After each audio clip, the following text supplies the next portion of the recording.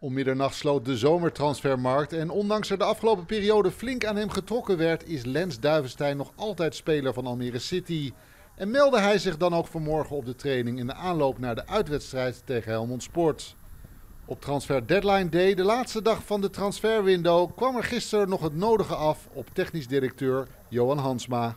Het was druk uh, rondom Lens, ja, er was wat ja, beroering, zeg maar. Want op het allerlaatste moment probeerden twee clubs Duivenstein nog binnen te hengelen. Dat was een KKD-club en een, uh, en een eredivisieclub. Ja, en die kwamen op het laatste moment nog uh, met een concreet bod, hè? Ja, en nou goed, dat gebeurt natuurlijk wel vaker. En, maar goed, we hebben bij de biedingen hebben we naast ons neergelegd. De verschillen waren te groot?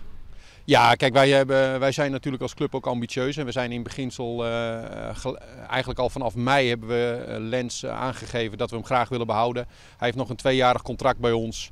Um, nou ja, goed. En de vergoeding die daar tegenover stond, die was voor ons niet voldoende om, om daar in ieder geval op in te gaan. Duivenstein mocht vandaag met het oog op de uitwedstrijd tegen Helmond Sport niet voor de camera komen van Almere City.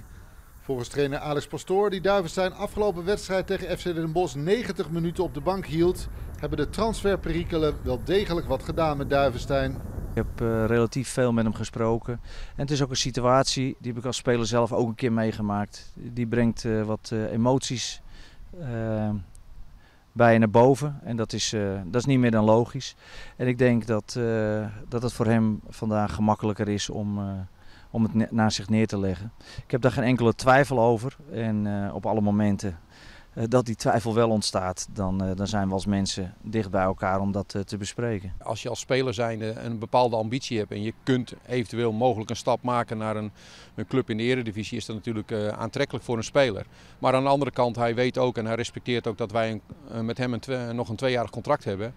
En wij zijn er niet uitgekomen. Je bent niet bang uh, om nu met een uh, ongemotiveerde Lens Duifstein te maken te krijgen? Nou, dan pakt hij alleen zichzelf mee. Dus uh, volgens mij is dat niet verstandig. Dit nam natuurlijk wel een plekje in zijn hoofd in in, in de afgelopen anderhalve maand.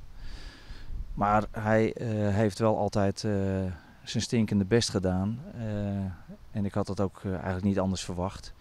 Ehm, nou, ik denk niet dat hij de kwaliteit geboden heeft wat zijn potentie zeg maar, voorschrijft.